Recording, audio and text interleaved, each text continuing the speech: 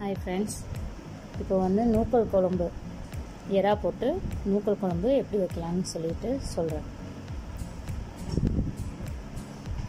கேளுங்க உங்களுக்கு பிடிக்கும். மூணு நூக்கல் எடுத்துக்கோங்க. ஆக்சுவலாக நான் நூக்கலை வெட்டிட்டேன். மூணு நூக்கல் எடுத்து இதை மாதிரி சின்ன சின்ன பீஸாக வெட்டிக்கோங்க. அப்புறம் தேங்காய் எடுத்துக்கோங்க அரைக்கிறதுக்கு. மல்லி தக்காளி வெங்காயம். இதில் வந்து ஒரு சின்ன வெங்காயம் தேங்காவோட அரைக்க வச்சுக்கோங்க. இது இந்த வெங்காயம் வெட்டி போட்டுக்கோங்க. வெங்காயம் தக்காளி அரைக்கக்கூடாது வெட்டிக்கணும். தேங்காவோட சின்ன வெங்காயம் ஒன்று எடுத்து தேங்காவோட அரைச்சிக்கணும். தேங்காய் வெங்காயம் கொத்தமல்லி அரைச்சிக்கணும். இஞ்சி பூண்டு பேஸ்ட்டு நான் ஆல்ரெடி அரைச்சி வச்சுருக்கேன்.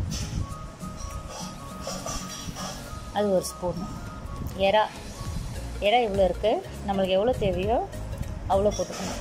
ஏன்னா கொஞ்சம் போட்டாலே போதும் நூக்கலுக்கு. நல்ல டேஸ்ட்டாக இருக்கும். டேஸ்ட் எடுத்து கொடுக்கறதுக்காக கொஞ்சமாக எறா போட்டுக்கலாம். இல்லை எறா நிறையா சாப்பிடுவீங்கன்னா எறா நிறையா போட்டுக்கலாம். இதை அரைக்கணும். வாங்க அரைச்சி சமைக்கலாம். தேங்காவை வெட்டிக்கோங்க. இதை வச்சுருக்க இந்த தேங்காய்.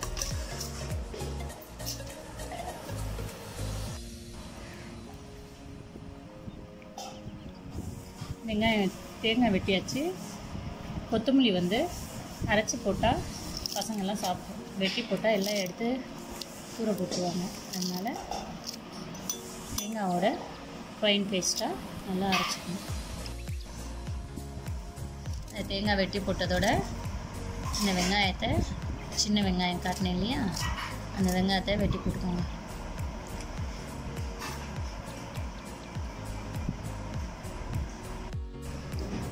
கொத்தமல்லி இதில் வெட்டி வச்சேன். கொஞ்சம் எடுத்துக்கும் லாஸ்ட்டாக போட்டுக்கலான்னு கொஞ்சம் எடுத்து வச்சுருக்கேன். இந்த வெங்காயத்தை தாளிக்கிறதுக்காக வதக்கிறதுக்காக வெட்டி வச்சுக்கணும். இந்த மாதிரி நீல வாகலை வெட்டாமல் நீல வாகலை வெட்டாமல் இந்த மாதிரி பொடிசாக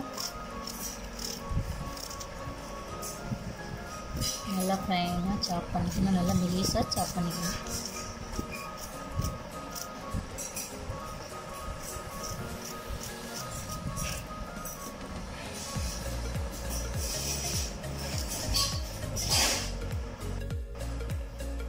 வெங்காயம் வெட்டியாச்சு மெலிசா நல்லா இந்த மாதிரி வெட்டிட்டு தக்காளியும் நம்ம மெலிசாக நறுக்கிக்கணும்.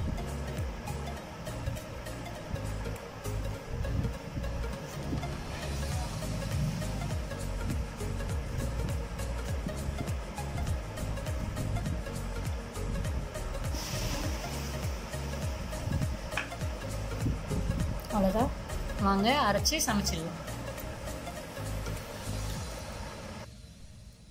இப்போ அரைச்சி எடுத்தாச்சு.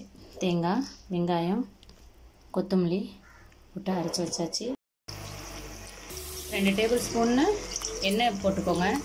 இதில் பட்டை லவங்கம் ஏலக்காய் அரைச்சி வச்சாச்சு. எடுத்துட்டு கண்ணாடி ஜாரில் எடுத்து வச்சுக்கணும் இப்போ அந்த பட்டை லவங்கம் ஏலக்காய் எல்லாத்தையும் அரைச்சி வச்ச தூள் போட்டிருக்கேன். அது இதாகணுன்னா கொஞ்சம் சூடானோடனே எண்ணெய்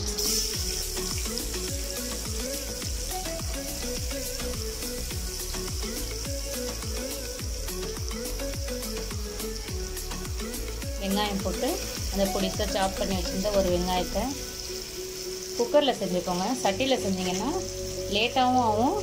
குக்கரில் செஞ்சிங்கன்னா சீக்கிரம் ஃபாஸ்ட்டாகவும் ஆகிடும் நம்ம ரொம்ப நேரம் அது மெனக்கெட்டுட்டு நிற்கவும் அவசியம் கிடையாது. மண் சட்டியில் பண்ணுறதா இருந்தாலும்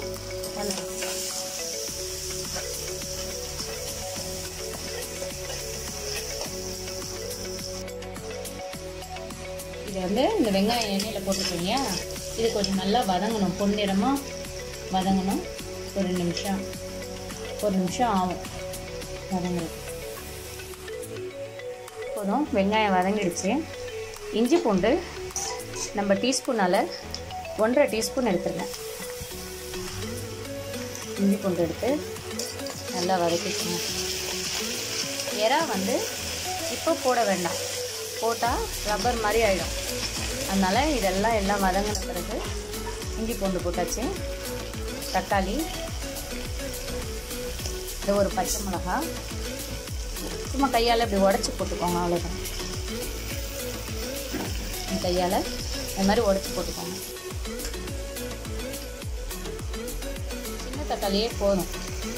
ஏன்னா தக்காளி வந்து அதிகமாக சேர்க்கக்கூடாதுங்கிறாங்க. அதனால் இதை நல்லா மசிச்சுக்கிட்டு கரண்டியால்.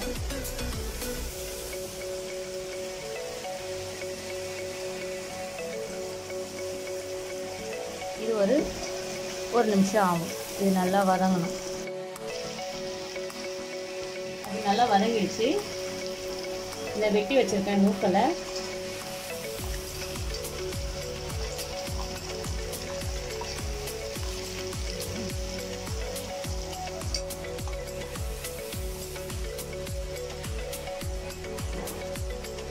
வெட்டி வச்சுருக்க நூக்கலை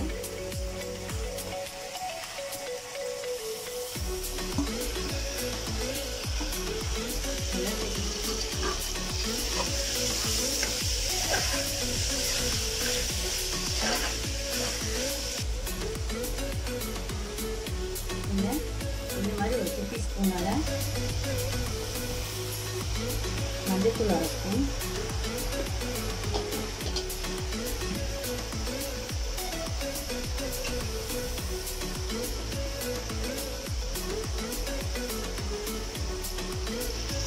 மிளகாத்தூள் இந்த மாதிரி ஸ்பூனில் ஒரு அரை ஸ்பூன். இது வந்து சக்தி மிளகாத்தூள். காரமாக இருக்கும். நல்லா சரியாக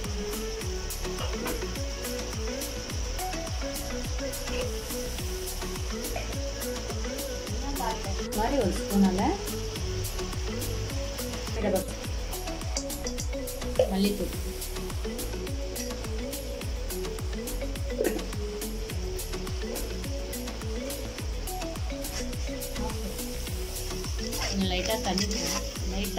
மசாலா அடி பிடிக்குதுன்னு சும்மா ரெண்டு ட்ராப்ஸ் கொஞ்சமாக தண்ணி ஒரு கரண்டி அளவு தண்ணி ஊற்றி இது நல்லா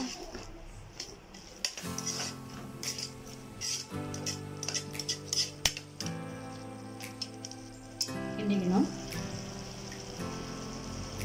இந்த எறா சொன்னேன் இல்லையா? அந்த எறாவை வந்து நம்மளுக்கு எவ்வளோ தேவையோ அதில் நான் பாதி போட்டுப்பேன்.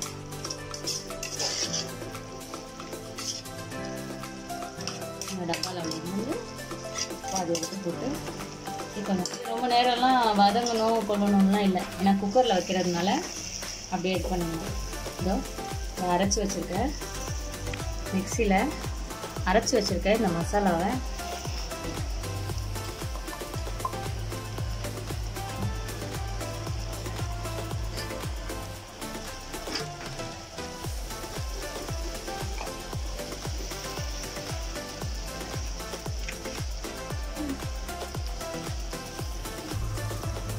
மசாலாவை அரைச்சி வச்சுட்டு மசாலாவை போட்டுக்கிட்டு இந்த மிக்ஸி ஜாரை அலசி அந்த தேங்காய் அலசி ஊற்றுறோம் இல்லையா?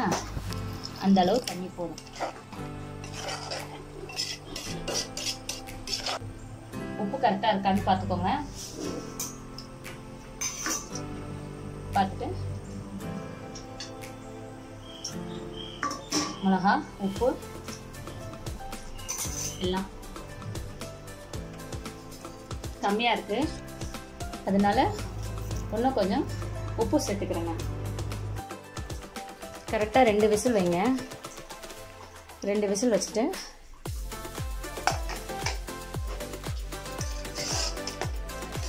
பாருங்கள் கிரேவி நல்லா ரெடி சப்பாத்திக்கு தோசைக்கெல்லாம் இது பண்ணால் கொஞ்சம் சாதத்துக்குன்னா கொஞ்சம் லைட்டாக தண்ணி லைட்டாக இது பண்ணிக்கிட்டு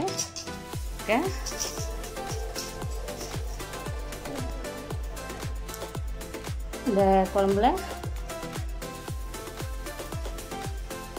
கொத்தமல்லியை சேர்த்துக்கோங்க. இது ரெடி ஆகிடுச்சு நூக்கல் எறா குழம்பு. புளி இல்லாத நூக்கல் எறா குழம்பு. சாதத்தோடையும் சாப்பிட்லாம்.